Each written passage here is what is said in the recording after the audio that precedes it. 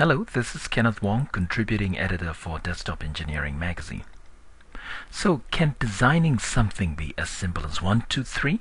Step 1, you design something in a computer. Step 2, you show it to a few friends and strangers for input. Then step 3, you make it. Or you let somebody else make it for you for a reasonable fee. Well, that is certainly the idea behind Autodesk's latest initiative called 123D. It's a free 3D modeling software for those who might not have CAD or 3D modeling background. The software launched in May, and it was also the debut of a new 123D online community where you can share your work with others. And the final step, if you want, you can get your design printed by a service bureau in 3D or go to a local TechShop location and make it yourself. Well, let's take a look at the software first. It's a free download currently in beta release. And if you are familiar with Autodesk Inventor Fusion, you'll notice the similarities between 123D's interface and Fusion's. In fact, 123D to me feels like a slightly stripped down version of Autodesk Inventor Fusion.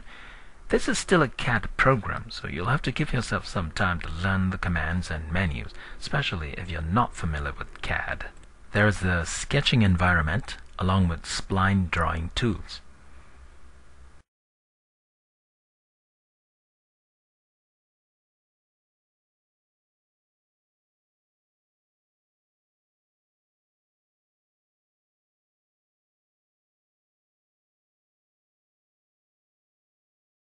And there is also an easy way to create basic geometric blocks, or known as primitive shapes.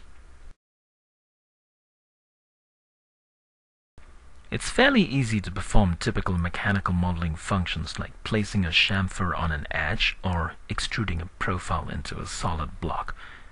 Since this is also based on Inventor Fusion, it doesn't give you a history tree or a feature tree like a parametric CAD program. Instead, it gives you a solid geometric block you can create on the fly by simply pushing and pulling on the faces and features or by rotating faces and features.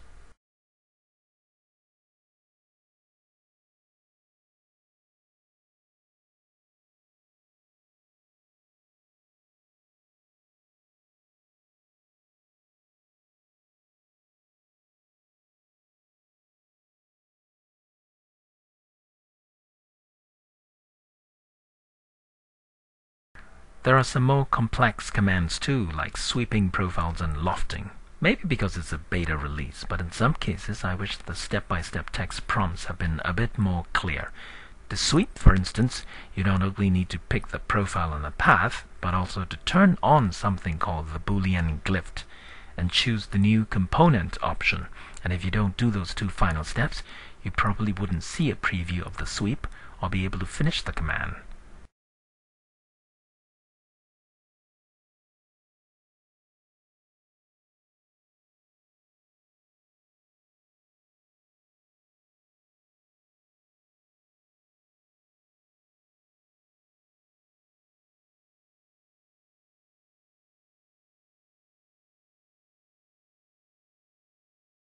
If you're a fairly sophisticated CAD user and want to do pattern features or mirrored parts, you can do that in 123D too.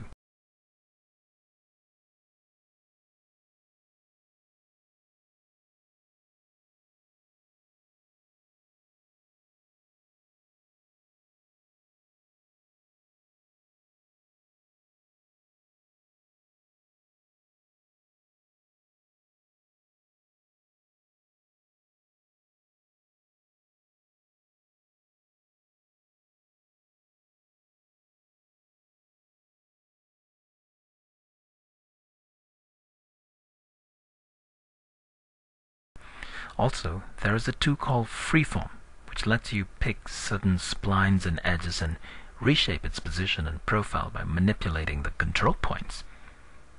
The same command also gives you Symmetry, which lets you put a hypothetical plane that works like a center divider, then automatically reshape your geometry from one side to reflect on the other side. 123D is a fairly sophisticated modeling program. For better or worse, it's not Autodesk version of simple SketchUp.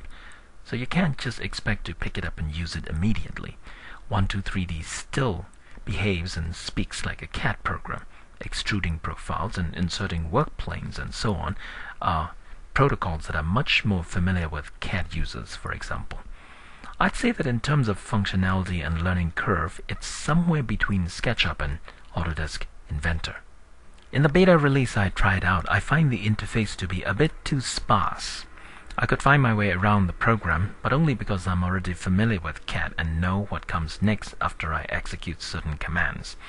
But if this is intended for the hobbyist, enthusiast, and do-it-yourself crowd, it might need a little more built-in guides and text prompts to walk them through certain modeling operations.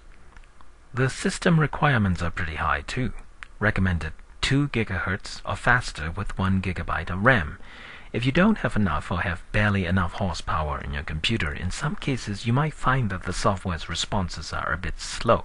It takes a moment to think before it performs your command.